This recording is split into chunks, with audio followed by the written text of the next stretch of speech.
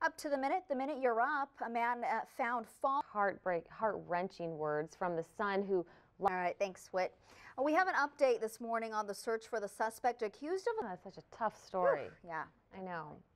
Okay, we are switching gears here. All right, thanks, Whit. New at 6, hacking of America. Coverage you count on. Police are looking for a gunman who shot at a group of people in City Heights. Yeah, we'll have a live update when NBC 7 News continues in just one minute.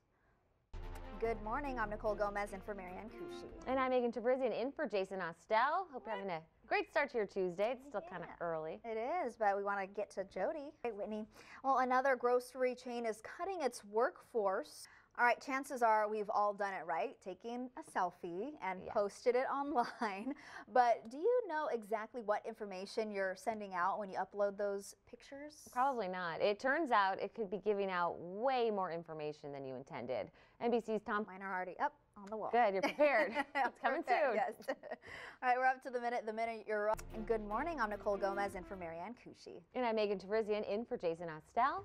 Both filling in, but Jody is still here. Coming up on NBC 7 News midday, recognizing San Diego's best local bands and artists for another year. The San Diego Music Dance this, uh, this Tuesday. That's what it is. We'll I'm have like, an what day is update in about 25 minutes. thought it was this plant years and years ago, and then it didn't stop raining for. It started months. raining and then Oh, there, it oh, was too expensive, you well, know. we could to- take the rain. I think that would be okay if we got some extra rain, I think so too. which we possibly could be getting. we have a, a chance. I always feel like Jim Carrey. I know. So you're telling So me you're there's telling a me there's a chance. Or, I don't know.